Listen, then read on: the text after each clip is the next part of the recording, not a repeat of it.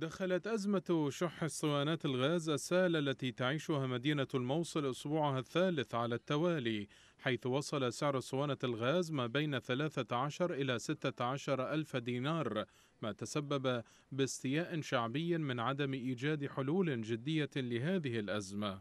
قنينة الغاز وصلت إلى 13 ألف وهذا الشيء يعني خارج عن إرادة المواطن يعني المواطن أمن يروح يجيب من هوني وظائف ما اكو تعيينات ما اكو آمنا بالله هسه. خليه يوفروا لنا المعيشة.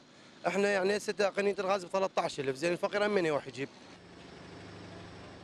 سكان نينوى اشتكوا أيضا من العجز والتقاعس الحكومي في حل مشكلة أزمة الغاز ومن استغلال بعض الجهات لهذه الأزمة للمتاجرة بها. مطالبين بتجهيز الساحات بالغاز حلا لهذه المشكلة.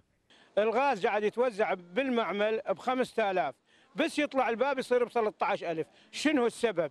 إحنا أزمة ما عندنا السيارات قاعدة تروح وتجي من كركوك من بغداد ومن أي مكان يجي الغاز ويجي بصورة صحيحة مثل قبل. ينطونا إيه، مثلا كل يومين والثالث ينطونا صفرة كل يومين والثالث ينطونا صفرة غاز.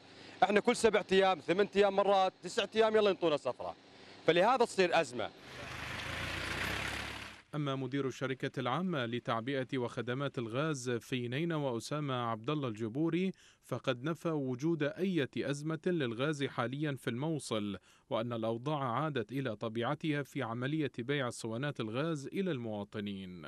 يومين فقط آه، كان هناك تأخير في وصول الغاز وليس انقطاع والحمد لله تم معالجة الموضوع والحصة نستلمها بشكل كامل من مواقع التحميل إلى محافظة نينوى